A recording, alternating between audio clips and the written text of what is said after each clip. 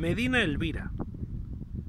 Situada al pie de Sierra Elvira, entre Atarfe y Pinos Puente, Madinat Elvira oculta los restos de la ciudad más importante de la Vega de Granada, entre los siglos 7 y 10.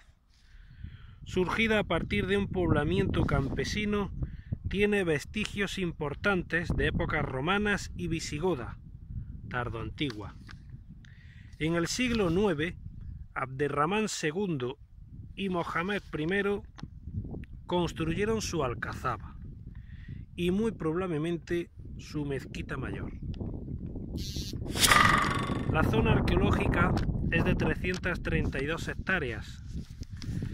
Medina Elvira o Madinat Elvira fue abandonada en el siglo XI en donde los musulmanes trasladarían la ciudad de Granada a su ubicación actual.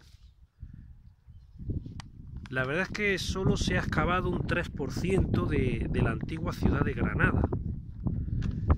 Eh, ahí tenéis ahí tenéis el cerro del sombrerete donde se situaba la alcazaba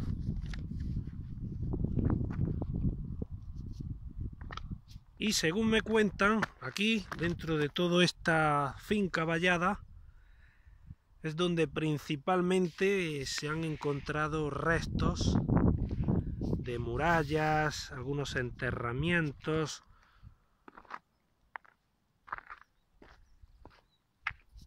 Bueno, pues ya conocéis un poco el lugar donde se situaba inicialmente por los musulmanes la ciudad de Granada.